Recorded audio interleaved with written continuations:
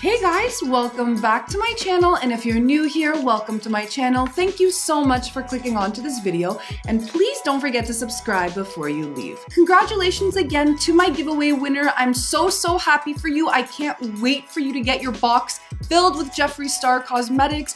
And guys, I cannot wait to do this cremated giveaway for you. The minute I have that palette in my hands, I'm gonna be doing a giveaway on this channel, so make sure you're subscribed and stay tuned.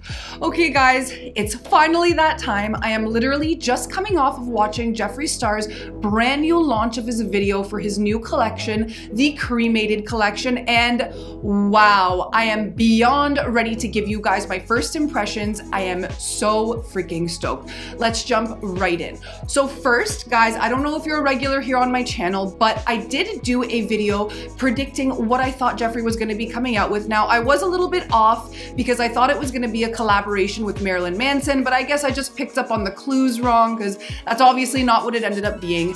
But I was right about one thing, that it's a goth palette, and guys, it is stunning. Now, it's an exact spin of what I think Jeffree would use as like a neutral goth palette.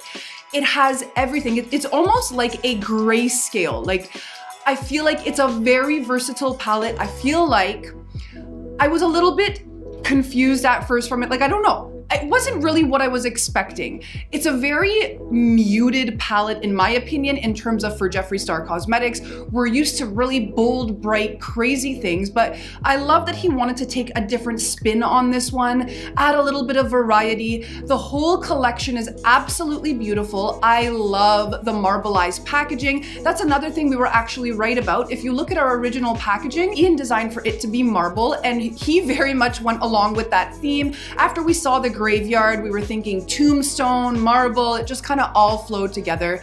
And so we were kind of close. We were kind of close, but we weren't quite right. I adore this palette, guys. Let's take a better look at it here. I think this palette is freaking stunning. I love the amount of shimmers we have in here. That bottom row of shimmers, though, has my name written all over it. I feel like you can use this palette as an additional palette to any other palette you have from him. You know what I mean? When he was explaining the palette at the beginning, he said that it was going to like really take your makeup game to the next level. And if we kind of look at that and break that down, it does really make a lot of sense because this palette specifically has a lot of different types of toppers in it. Like if we look at that bottom row or a lot of the shimmers, like you could do a look from pretty much any of his other palettes and then take this palette, use a shimmer, put it as a topper, and it's like boom. Guys, I really, really, really love this. Now, am I the only one? The minute I looked at it, the first vibe that I got was the Anastasia Beverly Hills Sultry palette.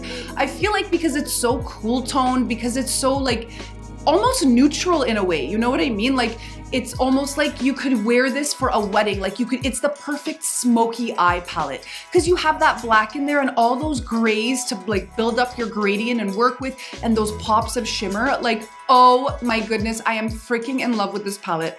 Guys, something that mm, just broke my heart this is only going to be, first of all, it's available May 22nd, so that's gonna be next Friday, but it's only available on jeffreestarcosmetics.com. And I have purchased several times off of his website. I really, really don't like purchasing from it. Because I'm all the way up here in Canada, my packages just take so freaking long to come. I feel like everyone will have it before I do. So I'm kind of bummed about that. I really, really love purchasing his stuff off of Beautylish. I find the shipping is amazing. Like everything comes so fast to me and I actually get that chance to, you know, get the palette pretty quickly so I can do tutorials for you guys in comparison. So I'm kind of really bummed that this time it's not gonna be available on any other website except for jeffreestarcosmetics.com. I can only anticipate how much this website website is gonna crash and all the issues we've had before. Like I, I am kind of a little nervous, but again, too bad. I am not only gonna get myself this palette, I am gonna get one lucky subscriber this palette as well. As per usual, business as per usual on this channel, I'm gonna be doing a giveaway of this new collection. So definitely make sure you're subscribed and stay tuned because the minute I have that in my hands, I'm definitely gonna be putting that giveaway video up. Now, something else I wanted to touch on. So I don't know if you guys noticed or were really online, you probably were, but As per usual, with this Jeffree launch, we did get a little bit of negative backlash. So given that it's a very unique time in the world where, you know, a lot of negative, bad things are happening, a lot of deaths are happening, a lot of people were a little bit bothered by the name cremated. If we look at the shadow names as well, everything is pretty much derived around funerals and death. But guys, you have to remember that Jeffree patented this idea in September of 2019. He did not anticipate it coming out during this coronavirus time. But obviously, why not go ahead with it? He knows how much we love his cosmetics, how excited we get when he does a launch. Why would we not still want to move forward with it? I totally understand, like, it's a little bit, I do definitely see where people are coming from with their critique of the name and the timing. But honestly, I think it's right on par with Jeffree. He doesn't really give a crap what people think. He literally just does what he wants to do, and I love him for that. We all love him for that, in my opinion.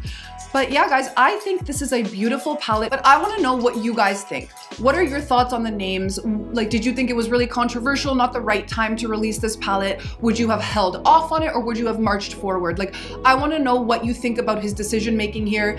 Me personally, I'm not bothered by the names. I, it's makeup, guys. It's not that deep. Like, it's not that deep. I'm not bothered by the names. I feel like the people who get bothered by this kind of stuff just generally get bothered by anything Jeffree does or anything anyone does really. There's always those naysayers in the comments that are gonna have bad things to say. In my opinion, this is beautiful. I think he's so awesome for moving forward with this launch instead of having us wait and be depressed all this time. I personally get so excited when there's a Jeffree Star Cosmetics launch. I know a lot of you do too. So yeah, guys, I'm actually so, so happy about this. Now let's talk about the accessories and the glosses. So I actually think these glosses are among my favorite that he's put out. I think they're absolutely beautiful. The new packaging he has going on, ugh, just to die for. I don't know if you guys have ever tried Jeffree Star Cosmetics glosses, but they're very similar, in my opinion, to the MAC glosses, which I absolutely love. They're amazing quality. They make your lips look luscious and gorgeous, and they literally smell delicious. So I definitely think I'm gonna buy at least two of these glosses. If you guys want, let me know. I will include a couple in the giveaway as well if you guys are interested. Definitely leave me a comment and let me know. And what about this makeup bag? I personally think it's beautiful. Don't get me wrong, but I would never purchase a white makeup bag you guys know, you guys here that wear makeup know how absolutely filthy your stuff gets. Like you get fingerprints all over everything, whether it's color, foundation, concealer, like it gets messy. So I wouldn't necessarily pick a white makeup bag only because you're always grabbing at it. So it's obviously gonna get dirty, but I think the entire collection is absolutely beautiful. But enough of my yim yammering, I wanna hear your thoughts. Let's start a little discussion down below. Did you think he came out with this at an inappropriate time? Are you in love with the color story? Does the color story leave you wanting more? I wanna hear your thoughts. Please, please, please let me know. And yeah, guys, that's pretty much it for this first impressions. I can't wait till I have the palette in my hands and I'm able to do tutorials for you guys, comparisons, everything. But yeah, thank you guys so much for watching. Please make sure to give this video a like if you like this style of video. Please make sure to leave me a comment down below and please don't forget to subscribe. It really helps me out when you guys subscribe and I will catch you on the next video. Bye guys!